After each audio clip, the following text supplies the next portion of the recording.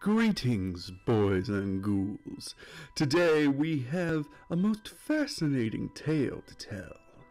We shall start by me going back to normal voice so I can go ahead and uh, make this a little quicker. Okay, hey guys. So, it's Halloween, week of Halloween. Great time to be around, great time to be alive. Get scared to not alive.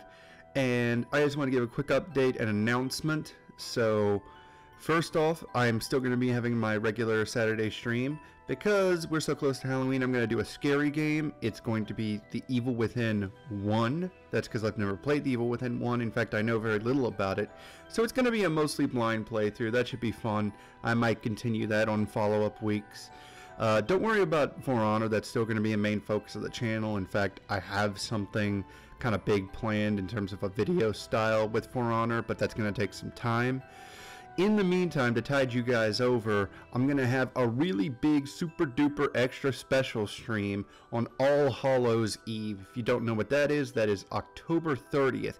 It's going to be a 12 hour stream. That's right, the Madman's going to do it. It's going to be from noon straight to midnight, so straight into Halloween itself.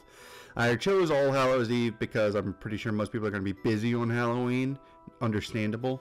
And I'm going to be playing what is without a doubt one of the spookiest games I've ever personally played.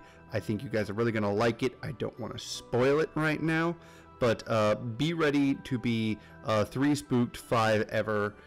And I hope to see you all on either of those streams. Uh, peace.